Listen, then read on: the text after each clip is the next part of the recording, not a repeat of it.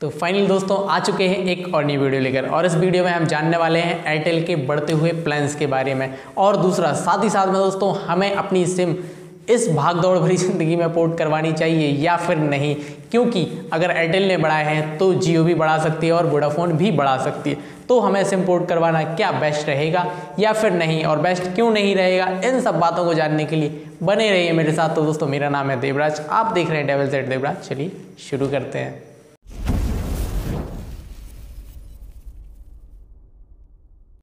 तो दोस्तों 2015 से पहले वाली ज़िंदगी तो आपको याद ही होगी, जिसमें हम दस रुपये का रिचार्ज कराते थे और सात रुपये टॉक टाइम पाया करते थे। उस टॉक टाइम के साथ ही साथ गुजार रहे थे हम सब अपनी ज़िंदगी।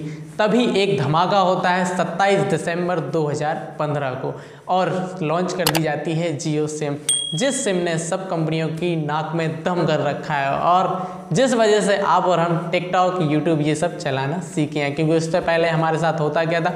हम वन जी नेट डलाया करते थे और यूट्यूब ओपन किया करते थे और हमारा नेट खत्म हो जाया करता। दोस्तों, इस डर के मारे तो मैं तो यूट्यूब ओपन ही नहीं किया करता था। ये सब ज़िंदगी जब हमारी चल ही रही थी और 27 दिसंबर 2015 के बाद जब से ये जियो लॉन्च हुई, तब से इस जियो सिम ने नाक में दम कर रखा है सारी टेलीकॉम कंपनियों की। तो दोस्तों, ये सिम एक लौती ऐसी सिम थी जिसने सारी कंपनियों को ये बताया कि आप भी सस्ते प्लान दे सकते हैं। जिस तरीके से वो लूट रहे थे, इस तरीके से लूटना जायज़ नहीं था। तो दोस्तों, इस कंपनी के चक्कर में सभी कंपनियों को अपने टैरिफ प्लान कम करने पड़े क्योंकि आप कस्टमर हैं, मैं कस्टमर हूँ। जब हमें कहीं प्लान सस्ते मिलते हैं, तब हम महँगे प्लान यूज़ नहीं किया करते हैं।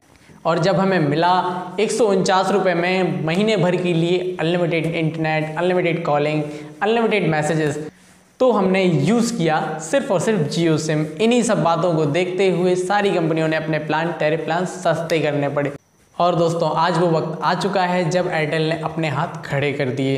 एयरटेल का साफ़ कहना है कि वो अफोर्ड नहीं कर सकते हैं इस प्राइस रेंज में इतने इंटरनेट के लिए, इतनी वॉइस कॉलिंग के लिए और इतने मैसेजेस के लिए, जो भी अपना डेटा प्लान होता है, उसके 25 परसेंट रेट बढ़ा दिए गए। दोस्तों, आपके मन में एक बात ज़रूर चल रही होगी कि अगर एयरटेल ने प्लान बढ़ाए हैं तो हम अपनी सिम को जियो में पोर्ट करवा लेते हैं या फिर वोडाफोन आइडिया में पोर्ट करवा लेते हैं। तो दोस्तों, मैं आपको बता दूँ अगर एयरटेल ने ये कदम उठाया है तो ये कदम जियो भी उठा सकती है और ये कदम वोडाफोन भी उठा सकती है। क्योंकि एयरटेल ने कुछ ना कुछ तो ज़रूर सोच रखा हुआ अगर एयरटेल ने प्लान बढ़ाए हैं तो उसे पता है कि हमारे सारे कस्टमर्स जो हैं, वो जियो में पोर्ट करवा लेंगे, या फिर वोडाफोन में, या फिर आइडिया में पोर्ट करवा लेंगे। लेकिन मैं आपको बता दूँ कि अगर एयरटेल ने अपने प्लान्स बढ़ाए हैं तो फिर अब जियो का भी नंबर है और अब वोडाफोन का भी नंबर है।